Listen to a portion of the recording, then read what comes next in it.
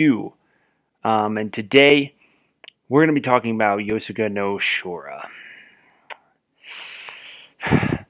well, I thought I'd pick a fun one to do as the beginning, right? This is just a fun uh, anime, and by that I mean it's absolutely atrocious, so I get to make fun of it. So uh, let's just let's just start with the plot the plot is it's kind of based on a dating sim, right? It's it's got what happens is the opening episode they set everything up and then the second episode breaks off into two branches. The second, third and fourth episode follow one branch, the second, fifth and sixth episode follow another branch. And then in the seventh episode, that sets up the seventh, eighth, and ninth episode to go down at one branch, and then the seventh, tenth, eleventh, and twelfth episode to go down another arc. So you basically get the full dating sim experience as this guy wins over four girls, um, and then you go back in time and you re-see how basically he does this. Um, so we get these we get these four different story branches, right? And the, the entire plot is how he gets with them and ultimately gets the ending that you know you would look for during a dating sim. but uh, let's just say it's not without fuck tons of drama and an overabundant overabundance of stupidity. So let's just let's just move on now. So the characters of this show. Let's take a look. First off, we've got Haruka Kasugano. Haruka Kasugano. Sorry I stuttered there for a minute, but that's our main character. He is the man. He's the one that's going to win everybody over. But uh, let's just say Haruka's parents passed away, and him and his twin sister Sora uh, have moved to basically their home city, and they live by themselves based on what money that their parents had left. Um, they were originally going to move in with their grandparents, but they decided that they wanted to live on their own rather than be uh, monitored by their grandparents. Uh, well, he, he seems like a nice and honest person that uh, you could trust and that uh, can easily win over the women in this story, especially noting the fact that he has known pretty much all of them since he was a kid. Pretty much. Um, so what what what's really interesting is that he comes off as this nice person who look, who seems kind of naive, but at the end of I believe three of the four routes, he ends up banging the chicks. So, uh, oh my god, man. Um, then we then we proceed on to the four love interests that he pursues. The very first love interest is Kazuha Miki Migiga, Migiwa, Migiwa, Kazuha Migiwa, who is kind of this rich chick, um, sharp-minded, very independent. Her parents are always, you know, on the road. She's she's super rich because of what they do, um, and so she's had to live relatively by herself. She's gained a lot of independence, and uh, she's been friends with Haruka and this other girl named Akira, which we'll get to in a minute uh, since they were really little. And uh, basically, Kazuha developed a crush on Haruka, and, and uh, from when they were little, and it kind of develops once again when he returns to their old village. Um, nothing really too special. She's kind of the generic character. Like all of these are kind of generic stereotype character development. Um, as she's kind of that typical rich person whose parents never come home, so she's always lonely and she wants to, and she kind of builds her independence because they're never around type of bullshit. Then we introduce Akira. Now, Akira is uh, kind of this really innocent but hyperactive character, um, but she's also got that mature and emotional side that she never shows anyone. Kind of an- another generic stereotype character that you see everywhere. Uh, they do it a little bit differently in this show because this show is fucking strange. But uh, that's the second arc. And then the third arc, we go with Nao Yorihime.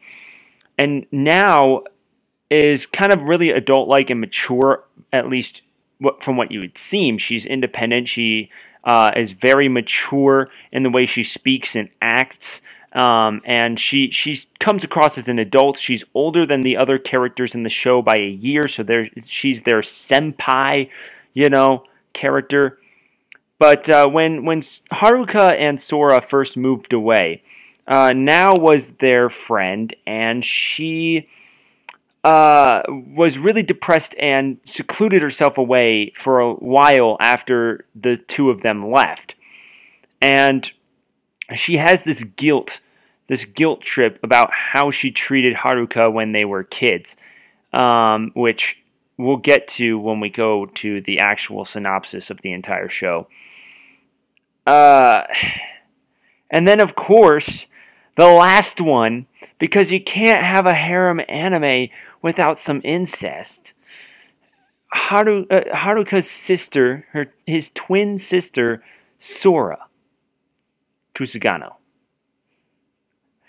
She's quiet, shy, and has this huge brother complex. She constantly just hates how every girl is getting close to him. You can constantly see it throughout the entire show, even the arcs that she's not mainly a part of.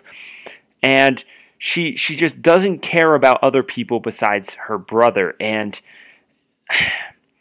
she's kind of a bitch to be honest like she's not a character that is very likable at all. And personally it just makes this all the more harder to to root for her when the entire anime you could just hear her nagging in the background about how her brother needs to pay more attention to her.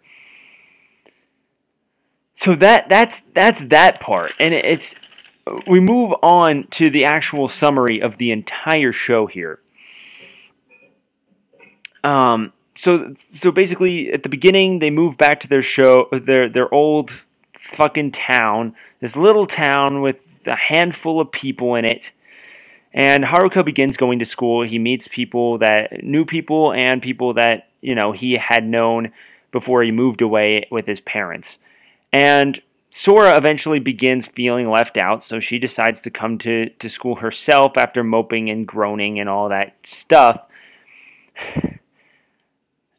But before she actually decides this, she goes to tell her brother about that that she's thinking about coming back to school, and she does it without any clothes on and climbing into his bed.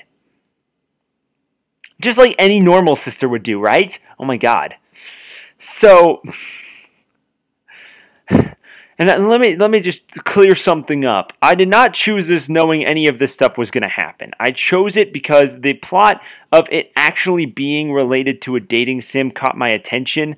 I didn't know almost any of this, and I have a rule. I have a rule.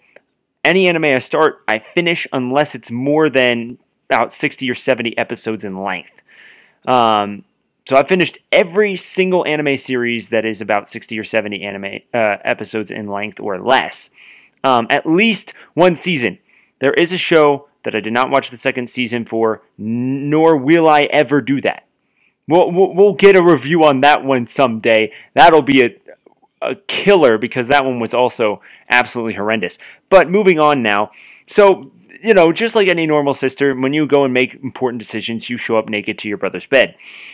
So we start getting everything going to shit now as uh, Sora finally comes to school, and uh, we get some plot convenience as all we have a mixed gym class as two um, two of the uh, classes come together for for a gym class to clean the pool because they need a way to get Akira and Kazuha together to, to start these next two arcs. And so uh, basically, Akira and Kazuha mess around, and one of them gets wet, and they go back to the girls' locker room. And Kazuha, again, by co- plot convenience, walks right by the women's locker room as they reveal that Akira and Kazuha are siblings. Um, which then we move on to basically the Kazuha arc. We'll come back to that exact scene once we get to the Akira arc. Um, so in the Kazuha arc, it is revealed that Akira was born from a different mother and they're half sisters, basically. They, they, they both share a father. And because Kazuha's father is super rich and, and famous and what have you, they have to obviously what any normal parent would do is they'd ship their kid to live with their mother and make sure that they're never heard from so that you know they, they don't suffer any consequences for their stupidity. Um, so then she she's really hard on herself because it's she feels like it's her fault and she's she's the one that gets to live with the father and all that good shit. And Haruka, the main character, decides to invite Kazuha on a date. And I mean just because you know what every normal person would do when there's this bitch complaining about how she sucks at life you you invite her out on a date to lift her spirits. And uh, towards the end of their date, Akira's maid, because, you know, uh, she's got a fucking maid. Which, by the way, in the game, uh, Haruka also conquers the maid, because, you know, you, you just can't have enough. Um, but Akira ha- has collapsed, and by the way, the way she collapses is fucking stupid. But uh, then, you know, Akira and Kazuha end up making up uh, because, you know, she feels responsible, and Akira's just like, no, you shouldn't real feel responsible, yada yada yada.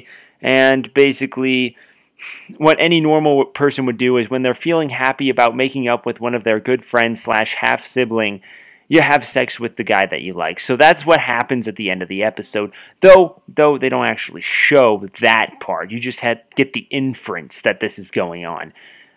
Because, you know, you, you can't you can't show show it being hentai. So that's what happens with the Kazuha arc.